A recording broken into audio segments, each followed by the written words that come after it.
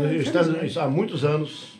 É, é, é, é até assim um, um certo. É, dá até um certo medo de falar, porque a testemunha não, não está mais entre nós. Hum. Mas eu estava no escritório do Gerardo Meirelles. Gerardo Meirelles. É, Gerardo Meirelles. E ele me mostrou a gravação que o Belmonte fez solo, né? Que eu também eu não conhecia. E ele contou uma história muito interessante, o Comaraí sabe disso.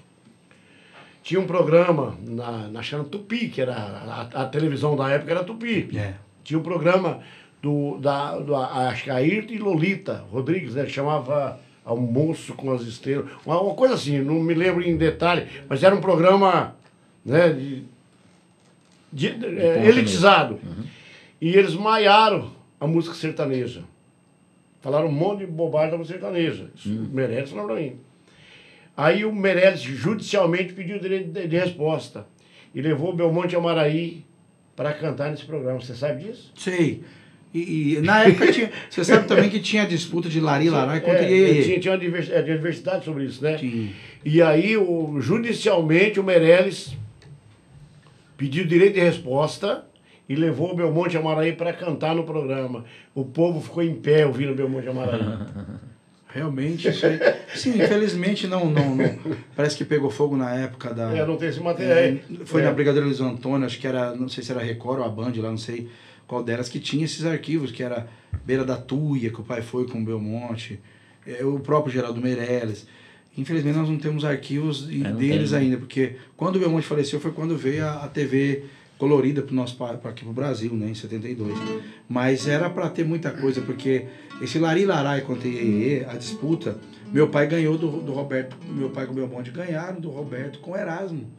Que ele estava estourado também. Ah, é? Era uma disputa, era um festival que tinha. Uhum. Então meu Monte Moraes ganhou com saudade de minha terra. Porra, da era, era, era aquela coisa, uma dupla sertaneja, entre aspas, caipira, entrando no é, não. não Tava não, não, pegando na mentira dos caras, né? Tava... Aí tinha um negócio, como é que chamava aquele outro programa do. Que tinha o um negócio de quebrar o disco? Já, já. Não, peraí, o nome dele era. Que ele tinha um negócio lá, jogava e quebrava. Quebrava, quebrava o disco, não gostava, ele ouvia, não gostava, quebrava, quebrava, quebrava. É, se não, se não, se, se, se, foi, se não foi aprovado, quebrava. E o Belmonte Amarelo falou, ah, agora pronto. ah, cantaram a saudade da minha terra, arrebentou. Peraí que eu vou lembrar o nome deles, é o. Se for do, do Geraldo Meirelles. Ai, enfim, não me recordo agora. É falecido também. E meu irmão de Maria passou. Quer dizer, pô, não tinha como, né? Então foi acontecido e é verdade, época, né?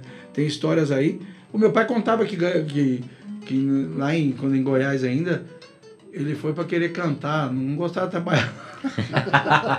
eu falar disso, teve uns caras que falam, ah, vocês não trabalham não, vocês só cantam, né? De certo é só, vocês pensam que é só flores, né? Não tem uns espinhos, não. Aí o pai foi para fazer um festival, participar de um festival em Jataí, e qual que era o prêmio? Olha pra você ver a situação, gente. Em 62, 63, a camisa Volta ao Mundo. Ele ganhou a camisa Volta ao Mundo. Aquilo era rico, era rico. Nossa. Pra gente rico, né? Era, era caríssimo, né? Camisa Volta Era o prêmio? Mundo. Era o prêmio.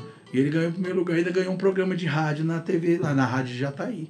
Então, quer dizer, pô, dali que ele foi para São Paulo, com o Amoroso, depois da gravadora Kiss Amarante. Ele voltou embora, foi quando conheceu o Belmonte e, e graças a Deus, né?